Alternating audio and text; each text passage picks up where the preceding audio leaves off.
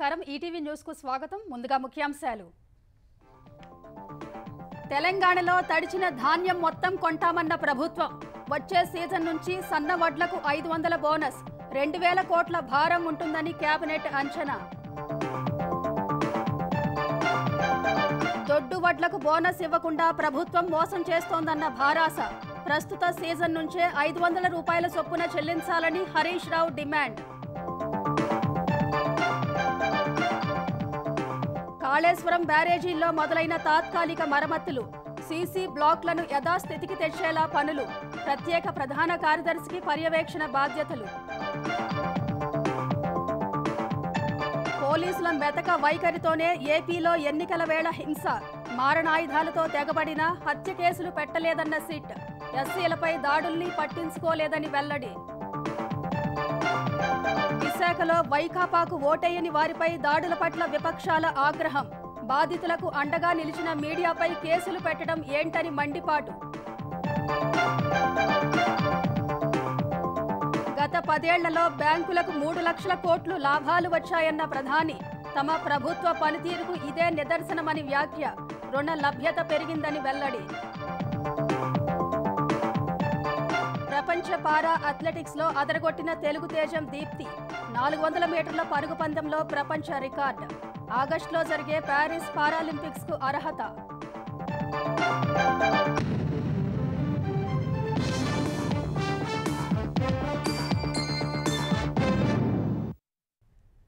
తెలంగాణలో అకాల వర్షాలకు తడిసిన ధాన్యాన్ని కనీస మద్దతు ధరకే కొనాలని మంత్రివర్గం నిర్ణయించింది. ఇప్పటి వరకు సేకరించిన ధాన్యానికి మూడు రోజుల్లోనే రైతుల ఖాతాల్లో డబ్బులు జమ చేసినట్లు చెప్పిన ప్రభుత్వం మిగతా ధాన్యం మొత్తం కొనుగోలు చేస్తామని రైతులు ఆందోళన చెందవద్దని సూచించింది. వచ్చే సీజన్ నుంచి సన్నవడ్లకు క్వింటాకు ఐదు వందల రూపాయల బోనస్ ఇవ్వాలని తీర్మానించింది. ఇందుకోసం ఒక్కో సీజన్కు ప్రభుత్వంపై రెండు వేల కోట్ల రూపాయల మేర భారం పడుతుందని మంత్రిమండలి అంచనా వేసింది. కేంద్ర ఎన్నికల సంఘం అనుమతి మేరకు ముఖ్యమంత్రి రేవంత్ రెడ్డి అధ్యక్షతన సచివాలయంలో సమావేశమైన తెలంగాణ మంత్రిమండలి పలు నిర్ణయాలు తీసుకుంది.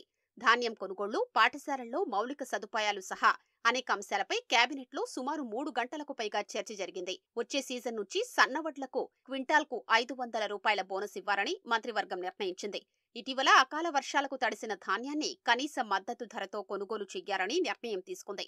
ధాన్యం కొనుగోళ్ళ పర్యవేక్షణ బాధ్యత కలెక్టర్లదేనని సీఎం రేవంత్ రెడ్డి స్పష్టం చేశారు. కలెక్టర్లు క్షేత్రస్థాయిలో పర్యటించి రైతులకు నష్టాలు ఇబ్బందులు తలెత్తకుండా చర్యలు తీసుకోవాలని పేర్కొన్నారు. ఇప్పటి వరకు ముప్పై ఆరు లక్షల మెట్రిక్ టన్నుల ధాన్యం సేకరించడంతో పాటు కొనుగోలు చేసిన మూడు రోజుల్లోనే రైతుల ఖాతాల్లో డబ్బులు జమ చేసినట్లు రెవెన్యూ సమాచార శాఖ మంత్రి పొంగులేటి శ్రీనివాసరెడ్డి వివరించారు. ప్రభుత్వ పాఠశాలలు హాస్టళ్ళలో విద్యార్థులకు భోజనం కోసం ఏటా సుమారు ముప్పై ఆరు లక్షల మెట్రిక్ టన్నుల సన్నబియ్యం అవసరమన్న ఆయన తెలంగాణ నుంచి ఈ బియ్యాన్ని సేకరిస్తామన్నారు. రాబోయే సీజన్లో ఈ రాష్ట్ర ప్రభుత్వానికి ప్రతి సంవత్సరం స్కూల్లో మిడ్ డే మీల్ కోసం కానివ్వండి హాస్టల్స్ రన్ చేయడం కోసం కానివ్వండి రెండు రూపాయలకి కిలో బియ్యం ఇచ్చే స్కీమ్ కానివ్వండి. ఇవి నడపాలంటే సుమారుగా ముప్పై ఆరు లక్షల మెట్రిక్ టన్నుల బియ్యం అవసరం ఉంది. ఈ బియ్యం ఎన్నికల టైంలో సన్న బియ్యం ఇస్తామని మేము వాగ్దానం చేశాం. ఈ రాష్ట్ర అవసరాల కోసం బయట ప్రాంతాల నుంచి సన్న బియ్యం కొనొద్దు అనే ఒక నిర్ణయంతో సన్న వడ్లు పండించిన రైతన్నకు క్వింటాలకు ఐదు వందల రూపాయల బోనస్ని ఈ వచ్చే సీజన్ నుంచి ఇవ్వాలని నిర్ణయించాం. సన్న వడ్లు రకాలు ఏమనేది అగ్రికల్చర్ డిపార్ట్మెంట్ వారు అవన్నీ కూడా రకాలను రకాలని ప్రకటించడం జరుగుద్దని కూడా తెలియజేస్తున్నాం. నకిలీ విత్తనాల విక్రయాలపై ఉక్కుపాదం మోపారని అధికారుల్ని సీఎం రేవంత్ రెడ్డి ఆదేశించారని మంత్రి వివరించారు. రైతులు నకిలీ విత్తనాల పట్ల మోసపోవద్దని రసీదు దగ్గర పెట్టుకోవాలని సూచించారు. ఎవరైతే నకిలీ విత్తనాలు సృష్టిస్తారో నకిలీ విత్తనాలు అమ్ముతారో నకిలీ విత్తనాలు అమ్మి నకిలీ రెసిట్లు ఇస్తారో వారందరి మీద కఠినమైన చర్యలు తీసుకునే విధంగా ఆదేశాలు ఇచ్చారు. అదే రకంగా ఎవరైతే రైతన్నలు లూజు విత్తనాలు కొనొద్దని ఎవరైతే అఫీషియల్గా కంపెనీల దగ్గరే కొనాలని కొన్న రైతన్నలు ఆ రిసీట్లు పంట అయిపోయేంత వరకు భద్రంగా ఉంచుకోవాలని గౌరవ ముఖ్యమంత్రి గారు గాని కేబినెట్ గాని నిర్ణయించి అధికారులకి ఆ రకమైన సందేశాలు చేరవేసే విధానాన్ని తీసుకెళ్ళాలని కూడా కేబినెట్ నిర్ణయించింది. రైతు రుణమాఫీపై ప్రతిపక్ష నేతలు అర్థం లేని రాద్ధాంతాలు చేస్తున్నారని రోడ్లు భవనాల శాఖ మంత్రి కోమటిరెడ్డి వెంకటరెడ్డి మండిపడ్డారు. ఎవరెన్ని కుట్రలు చేసినా ఆగస్టు పదిహేను నాటికి రైతు రుణమాఫీ అమలు చేసి తీరుతామని చెప్పారు. కాంగ్రెస్ ప్రభుత్వ బోనస్ పెద్ద బోగస్ అని మాజీ మంత్రి హరీష్ రావు అభివర్ణించారు. తెలంగాణలో కాంగ్రెస్ ప్రభుత్వం మరో ఎన్నికల హామీని తుంగలో తొక్కిందని ఆరోపించారు. రైతులు పండించిన వరి పంటకు క్వింటాకు ఐదు వందల బోనస్ ఇచ్చి కొనుగోలు చేస్తామని ఆరు గ్యారంటీల్లో భాగంగా హామీ ఇచ్చిన కాంగ్రెస్ అధికారంలోకి వచ్చాక సన్నవడ్లకు మాత్రమే బోనస్ ఇస్తామని ప్రకటించిందన్నారు. అది కూడా వచ్చే సీజన్ నుంచి ఇస్తామని మంత్రులు ప్రకటించడం అత్యంత బాధాకరమని హరీష్ రావు పేర్కొన్నారు. సన్నవడ్లకు మద్దతు ధర కంటే చాలా అధికంగా మార్కెట్లో ధర వస్తుందని దొడ్డు దొడ్డు రకం బియ్యానికే గిట్టుబాటు ధర రాదన్న ఆయన బోనస్ ఇవ్వాల్సింది దొడ్డు రకం వడ్లకేనని తెలిపారు. కేవలం సన్న వడ్లకే బోనస్ ఇస్తామనే నిర్ణయాన్ని వెంటనే ఉపసంహరించుకోవాలని హరీష్ రావు డిమాండ్ చేశారు. ఈ సీజన్ నుంచే అన్ని రకాల వడ్లకు ఐదు వందల చొప్పున బోనస్ చెల్లించాలని కోరారు.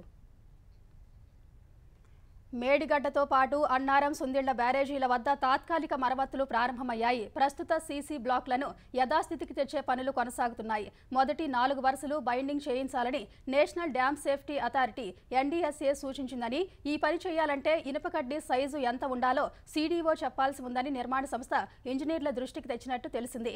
గ్రౌటింగ్ ఎలా చేయాలో డిజైన్ ఇంజనీర్లే చెప్పాలని సీసీ బ్లాక్లను హడావిడిగా వేస్తే మళ్ళీ కొట్టుకుపోతాయని నిర్మాణ సంస్థ అభిప్రాయపడినట్టు సమాచారం. మేడిగడ్డలో షీట్ ఫైల్ వేయడానికి అనువైన ప్రాంతాన్ని ఖరారు చేసే పనిలో ఇంజనీర్లు నిమగ్నమైనట్టు సంబంధిత వర్గాలు తెలిపాయి. జియోఫిజికల్ జియోటెక్నికల్ ఇన్వెస్టిగేషన్లతో పాటు పునాదులు బ్యారేజీ స్ట్రక్చర్ పరిస్థితిని తెలుసుకునేందుకు కాంక్రీట్ స్ట్రక్చర్ ఇన్వెస్టిగేషన్కు అధిక ప్రాధాన్యం ఇవ్వాలని సిడబ్ల్యూపీఆర్ఎస్ డైరెక్టర్కు మేడిగడ్డ బ్యారేజీ ఎగ్జిక్యూటివ్ ఇంజనీర్ లేఖ రాశారు. వీటిలో ఇరవై రకాల పరీక్షలు చేయాల్సి ఉంటుందని దీనికి వ్యయం ఎంత అవుతుందో వెంటనే చెప్పాలని కోరారు. ఆంధ్రప్రదేశ్లో పోలింగ్ రోజు తర్వాత వైకాపా వర్గీయులు రాళ్ళు మారణాయుధాలతో దాడులకు తెగబడితే పోలీసులు హత్యాయత్నం సెక్షన్లే పెట్టలేదు. అధికార పార్టీ నాయకులే పోలింగ్ కేంద్రాల్లోకి చొరబడి ఈవీఎంలు ధ్వంసం చేస్తే ప్రజా ప్రాతినిధ్య చట్టంలోని సెక్షన్లు వర్తింప చేయలేదు దళితులపై దమరకాండకు పాల్పడిన ఎస్సీ ఎస్టీ అట్రాసిటీ సెక్షన్లు జోడించలేదు. దర్యాప్తు కూడా లోపభూయిష్టంగా కొనసాగించారు. ఇప్పటి వరకు నిందితులను పూర్తి స్థాయిలో గుర్తించలేదు. ఈసీ ఆదేశాలతో ఏర్పాటైన సిట్ బృందాలు పల్నాడు తిరుపతి అనంతపురం జిల్లాల్లో నిర్వహించిన దర్యాప్తులో ఇలాంటి అనేక అంశాలు వెలుగు చూశాయి పోలింగ్ రోజు ఆ తర్వాత ఆంధ్రప్రదేశ్లో తీవ్ర హింసాత్మక ఘటనలకు సంబంధించి వినీత్ బ్రిజ్లాల్ నేతృత్వంలోని సిట్ తన నివేదికను డీజీపీకి సమర్పించింది. పల్నాడు జిల్లా మాచర్ల నర్సరావుపేట గురజాల నియోజకవర్గాల పరిధిలో నమోదైన ఇరవై రెండు కేసులు తిరుపతి జిల్లా చంద్రగిరి తిరుపతి నియోజకవర్గాల పరిధిలో నమోదైన నాలుగు కేసులు అనంతపురం జిల్లా తాడిపత్రి పరిధిలో నమోదైన కేసుల్ని సిట్ బృందాలు సమీక్షించి ఆయా కేసుల రికార్డుల్ని పరిశీలించాయి. ఘటనా స్థలాన్ని సందర్శించాయి. దర్యాప్తు అధికారులు బాధితులతో మాట్లాడి వివరాలు సేకరించాయి. ఇప్పటి వరకు సేకరించిన ఆధారాలు సాక్షుల వాంగ్మూలాల్ని పరిశీలించాయి. హింసాత్మక ఘటనల తీవ్రత ఆధారంగా ఆయా కేసుల్లో సంబంధిత సెక్షన్లు వర్తింపజేశారా? లేదా నిందితులందరినీ గుర్తించారా? లేదా అనే అంశాలపై విచారణ జరిపాయి. పలు కేసుల్లో అవసరమైన సెక్షన్లు పెట్టకుండా తేలికపాటి సెక్షన్లు పెట్టారని గుర్తించాయి. సంబంధిత సెక్షన్లు వర్తింపజేస్తూ వెంటనే కోర్టుల్లో మెమోలు దాఖలు చేయాలని ఆదేశించాయి. ఇలా ప్రతి కేసు వివరాలు వాటిలో వర్తింపజేయాల్సిన సెక్షన్లు ఇప్పటి వరకు జరిగిన దర్యాప్తు అందులోని లోపాలు తదితర వివరాలన్నింటినీ సిట్ తన నివేదికలో పొందుపర్చింది. తీవ్ర హింసాత్మక ఘటనలకు సంబంధించిన ముప్పై మూడు కేసుల్లో పదమూడు వందల డెబ్బై మంది నిందితులు కాగా వారిలో ఇప్పటి వరకు ఏడు వందల ముప్పై ఒక్క మందినే గుర్తించారని సిట్ పేర్కొంది. మరో ఆరు వందల ముప్పై తొమ్మిది మంది నిందితుల్ని గుర్తించాల్సి ఉందని తెలిపింది. ఆయా కేసుల్లో నూట ఇరవై నాలుగు మందినే అరెస్టు చేశారని గుర్తు చేసింది. తొంభై నాలుగు మందిని అరెస్టు చేయకుండా సిఆర్పిసి నలభై ఒకటి ఏ సెక్షన్ కింద నోటీసులు ఇచ్చారని నివేదికలో పేర్కొంది. నిందితుల్ని గుర్తించేందుకు అరెస్టు చేసేందుకు జిల్లా స్థాయిలో ప్రత్యేక బృందాలు ఏర్పాటు చేసినట్లు డీజీపీకి సిట్ నివేదించింది. మాచర్ల నర్సరావుపేట నియోజకవర్గాల్లో మారణాయుధాలతో దాడులు వాహనాల దహనాలు రాళ్ళు విసురుకోవడం వంటి ఘటనలతో హింస పెచ్చురిల్లింది. వాటిలో తీవ్రమైన పద్దెనిమిది కేసుల్లో నాలుగు వందల డెబ్బై నాలుగు మందిని నిందితులుగా గుర్తించగా ఇప్పటి వరకు ఒక్కరిని కూడా అరెస్టు చేయలేదు. అరవై ఏడు మందికి మాత్రం సిఆర్పిసి నలభై ఒకటి ఏ నోటీసులు ఇచ్చారు. గురిజాల నియోజకవర్గంలో హింసకు సంబంధించిన నాలుగు కేసుల్లో నూట ఏడు మందిని నిందితులుగా గుర్తించిన పంతొమ్మిది మందిని అరెస్టు చేశారు. తాడిపత్రిలో హింసకు సంబంధించి ఏడు కేసుల్లో ఏడు వందల ఇరవై ఎనిమిది మంది నిందితులు ఉన్నారు. వీరిలో తొంభై ఒక్క మందిని అరెస్టు చేశారు. చంద్రగిరి తిరుపతి నియోజకవర్గాల్లో నాలుగు కేసుల్లో అరవై ఒక్క మందిని నిందితులుగా గుర్తించగా వారిలో పద్నాలుగు మందిని మాత్రమే అరెస్టు చేశారు. మరోవైపు సిట్ బృందాలకు క్షేత్రస్థాయి పర్యటనలో పలువురు బాధితులు ఫిర్యాదులు వినతిపత్రాలు సమర్పించారు. వాటన్నింటినీ సిట్ పరిశీలిస్తోంది. ఏదైనా ఘటనల్లో కేసులు నమోదు కాకపోతే వాటి ఆధారంగా కొత్త ఎఫ్ఐఆర్లు నమోదు చేయనున్నారు. ఆంధ్రప్రదేశ్ ఉప ముఖ్యమంత్రి అంజాద్ భాషాపై కడప టూ టౌన్ పోలీసులు కేసులు నమోదు చేశారు. ఈ నెల పదమూడున పోలింగ్ సందర్భంగా కడప గౌస్ నగర్లో జరిగిన అల్లర్లపై అంజాద్ భాషాతో పాటు మరో ఇరవై ఒక్క మంది వైకాపా కార్యకర్తలపై కేసులు పెట్టారు. ఈ ఘటనలో వైకాపా తెలుగుదేశం వర్గాలపై కేసు నమోదు చేసిన పోలీసులు రెండు వర్గాలకు సంబంధించి నలభై ఏడు మందిపై కేసులు నమోదు చేశారు. తెలుగుదేశం పొలిట్ బ్యూరో సభ్యుడు శ్రీనివాసులు రెడ్డితో పాటు మరో ఇరవై నాలుగు మంది తెలుగుదేశం కార్యకర్తలపై కేసులు నమోదు చేశారు. కేసులు నమోదైన వారికి నలభై ఒకటి ఏ కింద నోటీసులు అందజేస్తున్నారు. అయితే వైకాపా వాళ్ళు రెచ్చగొట్టి రాళ్ళ దాడి చేస్తే తెలుగుదేశం వారిపై కేసులు నమోదు చేయడం ఏంటని ఆ పార్టీ నేతలు మండిపడుతున్నారు. ఈ కేసులను న్యాయపరంగా ఎదుర్కొంటామని కడప అసెంబ్లీ తెలుగుదేశం అభ్యర్థి మాధవిరెడ్డి చెప్పారు. సార్వత్రిక ఎన్నికల ఐదో విడత పోలింగ్ కేంద్ర ఎన్నికల సంఘం డేటా ప్రకారం సోమవారం అర్ధరాత్రి వరకు అరవై పాయింట్ సున్నా తొమ్మిది శాతంగా నమోదైంది. జమ్మూ కశ్మీర్ బారాముల్లాలో రికార్డు స్థాయిలో యాభై తొమ్మిది శాతం ఓటింగ్ జరిగింది. ఉగ్రవాదుల కార్యకలాపాలు అధికంగా ఉండే ఈ నియోజకవర్గంలో పంతొమ్మిది వందల ఎనభై నాలుగులో యాభై ఎనిమిది పాయింట్ తొమ్మిది సున్నా శాతం పోలింగ్ నమోదైంది. రాష్ట్రాల పరంగా పశ్చిమ బెంగాల్లో అత్యధికంగా డెబ్బై ఆరు పాయింట్ సున్నా ఐదు శాతం ఓటింగ్ జరిగింది. మహారాష్ట్రలో అత్యల్పంగా యాభై నాలుగు పాయింట్ మూడు మూడు శాతం పోలింగ్ నమోదైంది. పశ్చిమ బెంగాల్లో పలు పలుచోట్ల భాజపా తృణమూల్ కార్యకర్తలు దాడులు చేసుకోగా ఈవీఎంల మొరాయింపులు వంటివి కూడా చోటు చేసుకున్నాయి. బీహార్లో యాభై నాలుగు పాయింట్ ఎనిమిది ఐదు శాతం జార్ఖండ్లో అరవై మూడు పాయింట్ సున్నా తొమ్మిది శాతం ఒడిశాలో అరవై తొమ్మిది పాయింట్ మూడు నాలుగు శాతం ఉత్తరప్రదేశ్లో యాభై ఏడు పాయింట్ ఏడు తొమ్మిది శాతం కేంద్రపాలిత ప్రాంతం లద్దాఖ్లో అరవై తొమ్మిది పాయింట్ ఆరు రెండు శాతం పోలింగ్ నమోదైంది. మొత్తం ఐదు వందల నలభై మూడు స్థానాలకు ఇప్పటి వరకు నాలుగు వందల ఇరవై ఎనిమిది సీట్లకు పోలింగ్ పూర్తయింది. మిగతా స్థానాలకు ఆరు ఏడు విడతల్లో భాగంగా మే ఇరవై ఐదు జూన్ ఒకటిన ఓటింగ్ జరగనుంది. విశాఖ కంచరపాలెంలో తమకు ఓటు వేయలేదన్న కారణంతో ఓ కుటుంబంపై వైకాపా నేతలు దాడి చేసిన ఘటనపై ఏపీ ప్రధాన ఎన్నికల అధికారికి కేంద్ర ఎన్నికల సంఘానికి డీజీపీకి తెలుగుదేశం రాష్ట్ర అధ్యక్షుడు అచ్చెన్నాయుడు లేఖ రాశారు. నిందితులపై కఠిన చర్యలు తీసుకోవాల్సిన పోలీసులు ఘటనపై వార్తలు ప్రసారం చేసిన మీడియా సంస్థలపై కేసులు పెట్టడాన్ని ఈసీ దృష్టికి తీసుకెళ్ళారు. మీడియాపై కేసులు ఎత్తేసి కేసును తప్పుదారి పట్టించిన పోలీస్ అధికారులపై చర్యలు తీసుకోవాలని డిమాండ్ చేశారు. ఏపీలో ఎన్నికల అనంతరం పలు ప్రాంతాల్లో జరిగిన హింసపై ఈసీ జోక్యంతో పరిస్థితి పరిస్థితులు అదుపులోకి వచ్చాయని లేఖలో పేర్కొన్నారు. హింసను అరికట్టడంలో విఫలమైన కొందరు పోలీసులపై ఈసీ చర్యలు తీసుకోగా ఈ క్రమంలో తమ తప్పులను కప్పిపుచ్చుకునేందుకు విశాఖలో పోలీసులు మీడియాపైనే కేసులు పెట్టి బెదిరిస్తున్నారని మండిపడ్డారు. బాధితుల గళం వినిపించిన మీడియాతో పాటు భాజపా నేత విష్ణుకుమార్ రాజుపైన కేసులు నమోదు చేశారని గుర్తు చేశారు. దాడి ఘటనను మీడియా ద్వారా రిపోర్టు చేయడమే నేరమన్నట్లు పోలీసులు కేసు నమోదు చేశారని మండిపడ్డారు. మీడియాపై పెట్టిన కేసులను వెంటనే ఉపసంహరించుకునేలా ఈసీ ఆదేశాలివ్వాలని లేఖలో కోరారు. ఎన్నికల అనంతర హింసను అదుపు చేయడంలో విఫలమైన పోలీసులపై చర్యలు తీసుకోవాలన్నారు. విశాఖ బర్మా కాలనీలో బాధితుల సమస్యలను మీడియా చూపిస్తే పోలీసులు కేసులు పెట్టడాన్ని జనసేన సీనియర్ నేత నాదెండ్ల మనోహర్ తప్పుపట్టారు. బాధితుల వేదన ప్రసారం చేయడం తప్పు ఎలా అవుతుందని ప్రశ్నించారు. మీడియా ప్రతినిధులను భయపెట్టే చర్యలు సరికావన్న ఆయన ఈ కేసులు పూర్తిగా రాజకీయ ప్రేరేపితమని తెలిపారు. ధనలక్ష్మి అనే బాధిత కుటుంబంపై దాడి చేసింది ఎవరు? వాటికి సంబంధించిన కారణాలేంటో పోలీసులు చెప్పాలని డిమాండ్ చేశారు. వాక్ స్వాతంత్రపు హక్కు భావ ప్రకటన స్వేచ్ఛ ప్రకారం అన్ని రకాల వార్తలను జరుగుతున్న పరిణామాల్ని మీడియా సమాజానికి చేరవేస్తుందని గుర్తు చేశారు. వైకాపా అధికారంలోకి వచ్చినప్పటి నుంచి ఏపీలో మీడియాకు రాజకీయ రంగు పులిమి వర్గాలుగా విభజించిందని మండిపడ్డారు.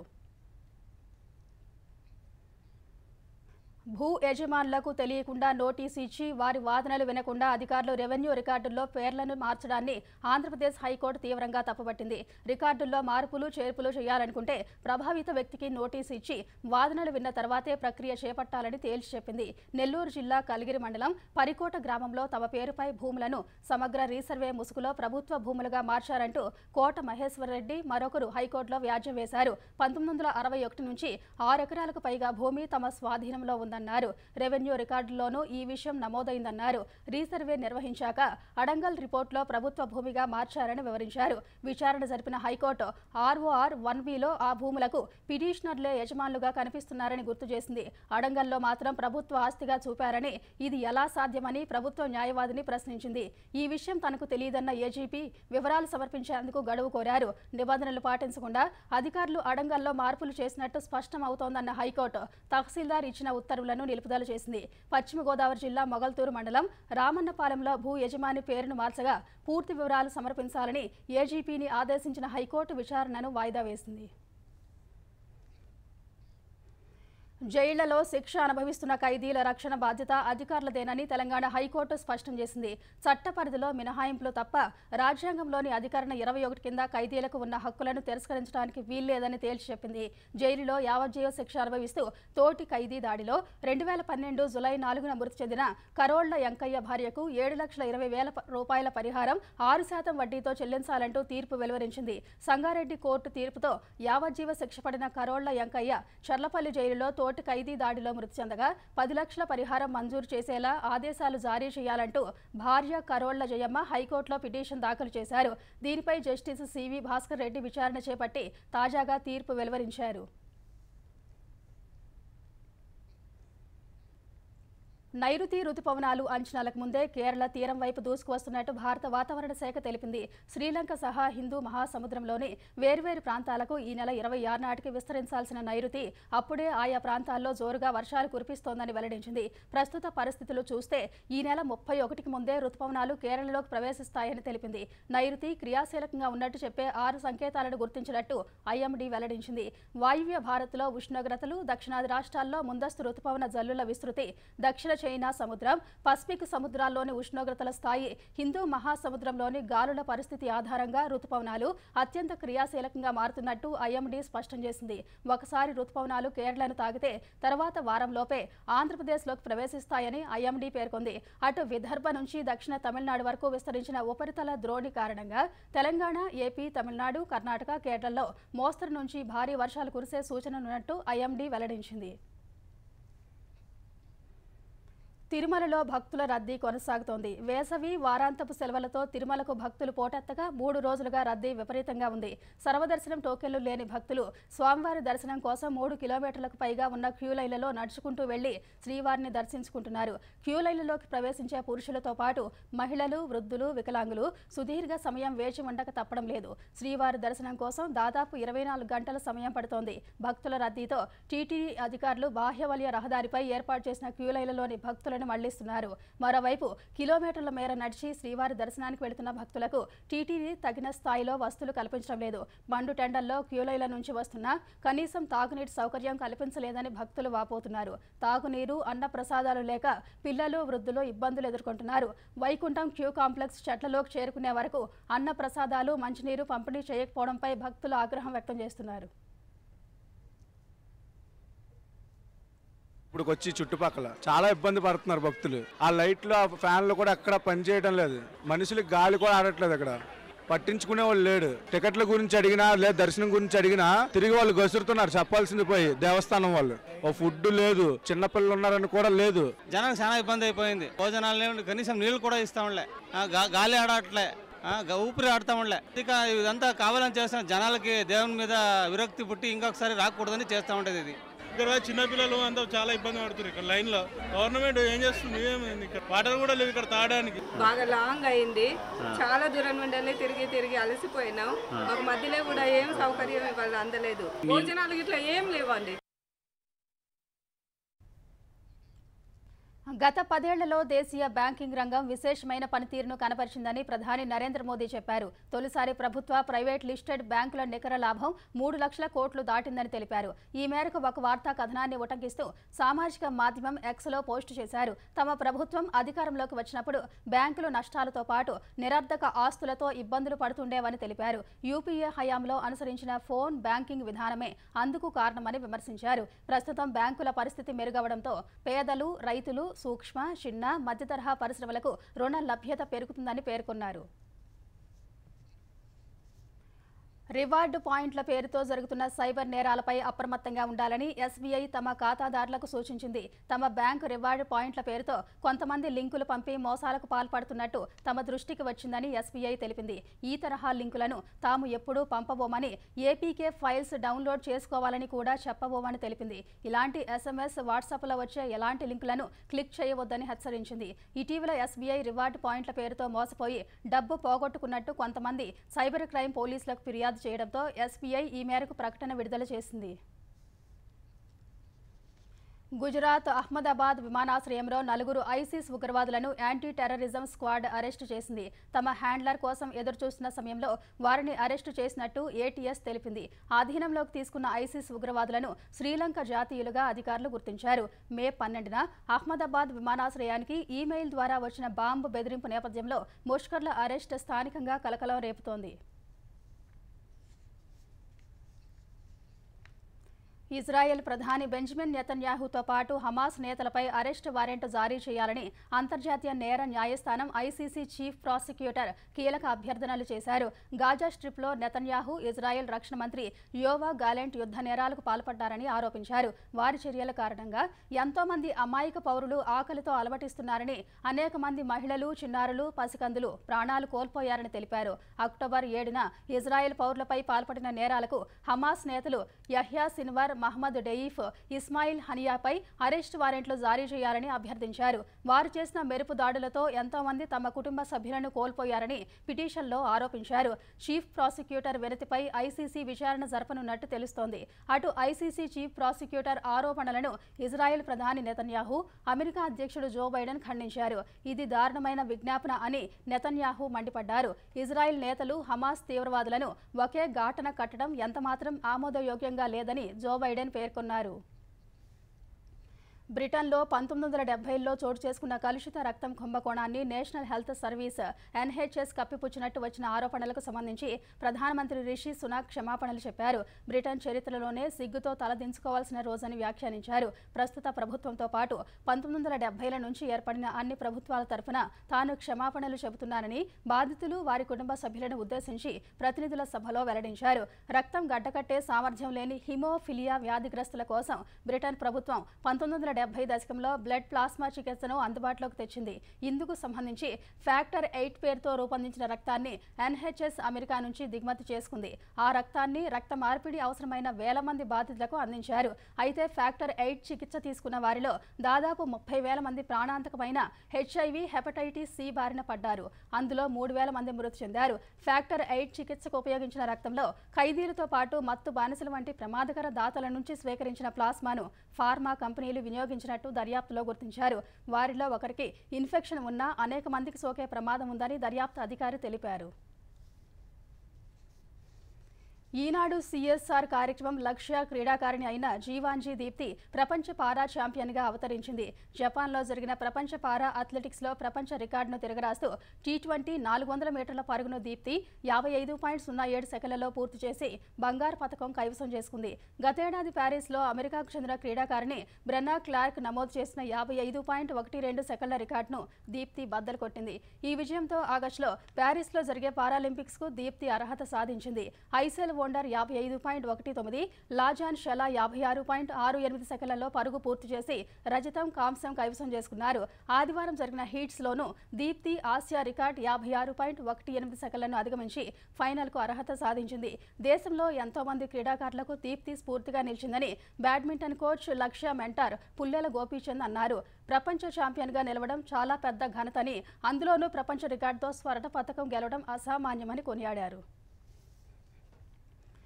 ఐపీఎల్లో కీలక సమరానికి రంగం సిద్ధమైంది. లీగ్ దశలో ఇరవై పాయింట్లతో అగ్రస్థానంలో ఉన్న కోల్కతా పదిహేడు పాయింట్లతో రెండో స్థానంలో నిలిచిన సన్ రైజర్స్ జట్టు మధ్య నేడు క్వాలిఫైయర్ వన్ మ్యాచ్ జరగనుంది. అహ్మదాబాద్ వేదికగా జరిగిన ఈ మ్యాచ్లో విజయం సాధించి ఫైనల్కు అర్హత సాధించాలని ఇరు జట్లు గట్టి కసరత్తు చేస్తున్నాయి. పరుగుల వరద పారించడంలో ఇరు జట్లు సమ ఉజ్జీలుగా కనిపిస్తున్నాయి. చివరి లీగ్ మ్యాచ్లో పంజాబ్పై భారీ లక్ష్యాన్ని ఛేదించిన నేపథ్యంలో కమిన్స్ నేతృత్వంలోని సన్ రైజర్స్ జట్టు క్వాలిఫైయర్ వన్లోనూ గెలుపుపై ధీమాతో ఉంది. మరోవైపు కోల్కతా చివరి మ్యాచ్. రాజస్థాన్తో వర్షం కారణంగా రద్దయినప్పటికీ అంతకుముందు వరుసగా నాలుగు మ్యాచ్ల్లో నెగ్గటంతో నైట్ రైడర్స్ కూడా విశ్వాసంతో ఉంది. సన్ రైజర్స్తో గత తొమ్మిది మ్యాచ్ల్లో కోల్కతా ఏడు నెగ్గింది. కేకేఆర్ ప్లే ఆఫ్స్లో ఎనిమిది మ్యాచ్లు నెగ్గి ఐదు ఓడిపోగా సన్ రైజర్స్ ఐదు మ్యాచ్లు గెలిచి ఆరు ఓడింది.